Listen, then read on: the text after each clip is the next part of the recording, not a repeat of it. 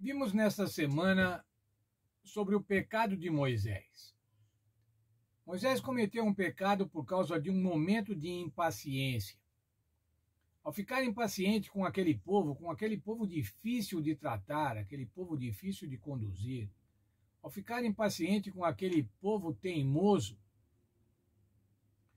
Moisés transgrediu.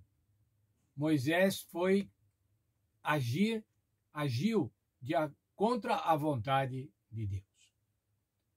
Nós somos impacientes, irmãos. E eu posso falar isso para mim. Eu sou impaciente. Eu costumo perder a paciência, às vezes, por bobagem. E eu devo cuidar disso, irmãos. Qual é o conselho que a Bíblia dá para os impacientes? Para os impacientes como eu. Aqueles que, às vezes, explorem sem precisar. Aqueles que poderiam é, ficar um pouquinho mais quietos e não tomar tantas atitudes, às vezes não as melhores. Efésios capítulo 4, versos 31 e 32. Abandonem toda amargura, todo ódio e toda raiva. Nada de gritarias, insultos e maldades. Pelo contrário, sejam bons e atenciosos uns para com os outros, e perdoem uns aos outros, assim como Deus, por meio de Cristo, perdoou você. Olha, irmãos, nós cremos que o Senhor Jesus nos perdoa de todas as bobagens, de todas as nossas faltas, de todas as nossas incompreensões com as pessoas. O Senhor Jesus nos perdoa. E ele nos aconselha aqui através do apóstolo Paulo. O Espírito Santo nos aconselha: vocês, por favor, nada de gritarias, nada de insultos, nada de maldades, nada de respostas ríspidas. Até Moisés, irmãos, o mais manso do mundo, por causa de um momento de impaciência, pecou. Por não parar um pouquinho para pensar, e a gente às vezes escuta muito esses conselhos, antes de tomar uma atitude intempestiva, pare, pense. Conte até 10 ou conte até 20. Quem sabe alguns têm que contar até mais, mas para não tomar atitudes que depois vocês venham a se arrepender.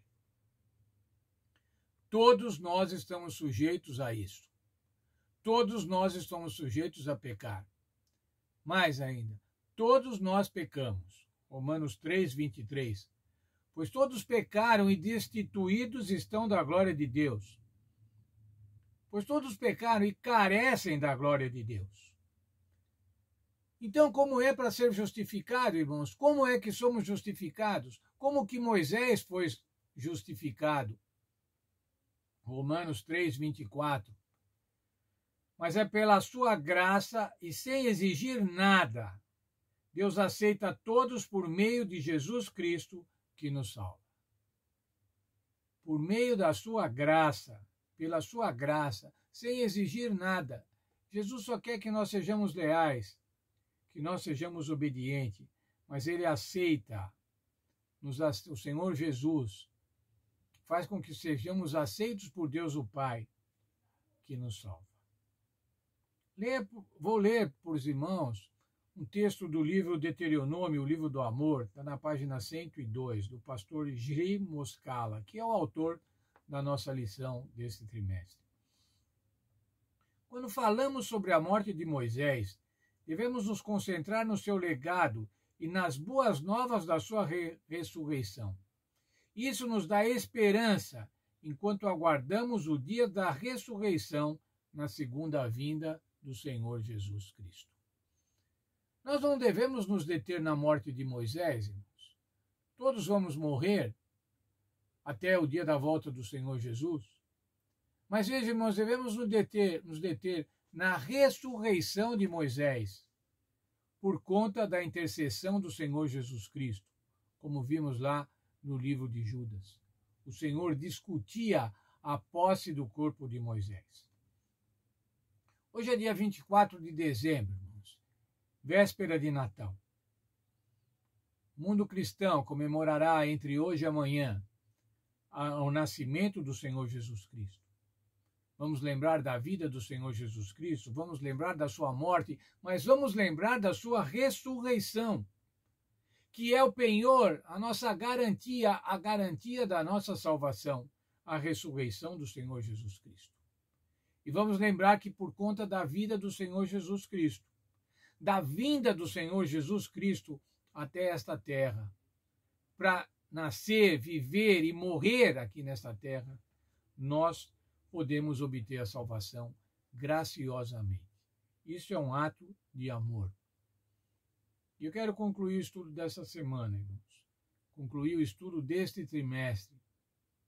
Não com o texto de Deuteronômio, mas com o texto de, do evangelista João, o apóstolo João. João 3, 16. Esse é o verso áureo da Bíblia. Esse é o verso que nós nunca devemos esquecer. Porque Deus amou o mundo de tal maneira que deu o seu Filho unigênito, para que todo aquele que nele crê não pereça, mas tenha a vida eterna. Para quantos terem a vida eterna, irmãos? Todos aqueles que nele crerem, terem a vida eterna. Eu quero desejar um feliz Natal para todos vocês para todos nós. Um feliz sábado, um feliz sábado de Natal. Um feliz sábado com a presença do Senhor Jesus Cristo nas nossas vidas. Que o Senhor Jesus Cristo nasça em nosso coração. Que o Espírito Santo atue em nosso coração a cada dia. Que sejamos a cada dia batizados pelo Espírito Santo. E que nunca percamos a esperança da ressurreição e da vida eterna possibilitada pelo sacrifício intercessório do nosso Senhor Jesus Cristo, o Filho unigênito de Deus, que veio a esse mundo morrer para que eu possa ser salvo, para que você possa ser salvo. Para nós que somos eh, algumas vezes impacientes, para nós que somos algumas vezes incompreensíveis, que Deus nos abençoe e que a gente possa viver feliz na certeza da vida eterna em Cristo Jesus.